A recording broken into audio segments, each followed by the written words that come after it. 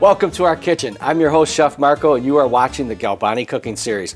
I'm going to show you some fun and exciting recipes that we're going to make with our beautiful fresh products, especially ricotta cheese today. Let's get started with a breakfast. I think breakfast is the easiest and most fun time to cook, especially with your kids, your family, your spouse, your friends, whoever you may be in the kitchen with. But let's make uh, grilled cheese. Let's start out with something very simple. We're going to do cinnamon bread. We're going to start out with caramelizing our onions. I'm gonna use a red sweet onion and a little bit of butter. We're gonna add some brown sugar to it. Get that sauteing. A little bit of butter. And some brown sugar. Let that start cooking. There we go. We're gonna use pancetta. I've already crisped up the pancetta. It's really nice, crispy. It's Italian bacon. You don't want to add any more oil to that. Let the fat render down.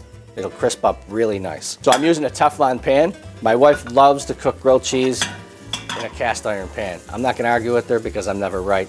She's my wife, of course. I use the Teflon pan because it doesn't stick.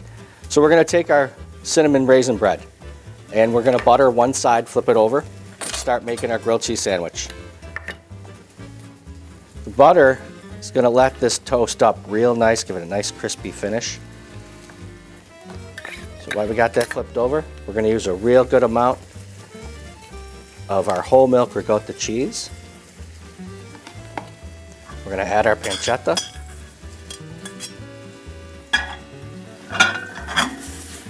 And our caramelized onions.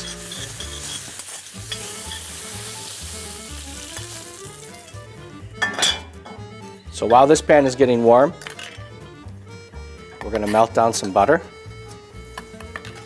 We're going to close up our grilled cheese sandwich. And I have an egg mix right here. So once we dip it in our egg mix, both sides, we're going to add it to our crumble. I'm going to coat that. And this is going to give us a beautiful, crunchy, French toast-like finish. Let that start to cook. So I'm just going to garnish our plate just for a little flair. Give it a little bit of a dimension, some fresh cinnamon, a little strawberry. This is something you can make every day of the week. It's easy, it's healthy, it's fun, and make it your own. So now that we've completed that beautiful granola grilled cheese for breakfast, lunch, or dinner, we're going to continue on with a scrambled egg dish using the leftover ricotta cheese. Now I love putting ricotta cheese into my scrambled eggs because it makes it so fluffy and creamy. And uh, it's just, it's a beautiful finish. So we're going to add our ricotta cheese to our bowl. We're going to get our Teflon pan heated up. We're going to add a little bit of olive oil to it, just for extra so it doesn't stick, even though we're using Teflon. We're going to crack our eggs right into the ricotta cheese. I'm using three eggs.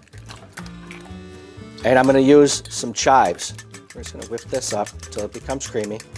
And if it's a little lumpy, that's okay because once it gets into the pan, it's going to melt. We're going to season it with a little salt, a little pepper, and I'm using fresh chives. This gives it a great flavor. So we're adding our ricotta cheese, our eggs. I got the fresh chives in there, a little salt, pepper. If you don't want to put the chives, you want to put something else, mushroom, spinach, or if you have some leftover pancetta, you could throw that in there too. Make it your own as long as there's some Galbani ricotta cheese in there.